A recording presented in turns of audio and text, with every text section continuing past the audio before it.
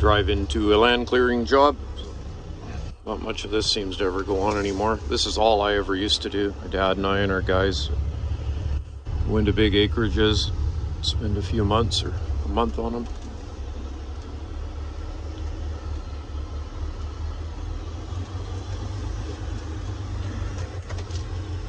we had skidders because you can't usually with, with chains, bear claw chains.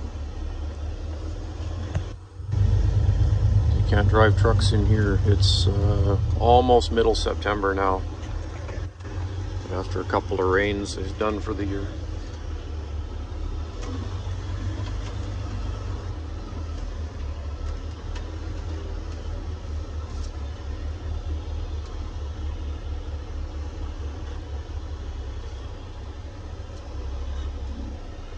John Deere 210G and I'm stuck. Put some lockers in. There, now I'm unstuck. This guy's brush rake. Those three are hemlocks. Be pulling on this cedar pile here. There's another deer in there.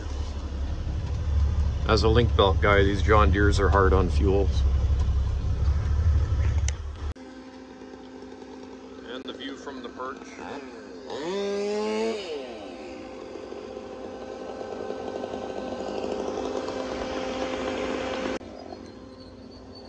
And I can't lift a cedar, so I already had to ask for help, so. See, I'm gonna turn that butt around, it's about, I don't know if it's four foot through, but. There was no help here to get it on, but there's help here, we'll take it instead of blowing a hose. Part load. Only two logs high on there, so that's cool.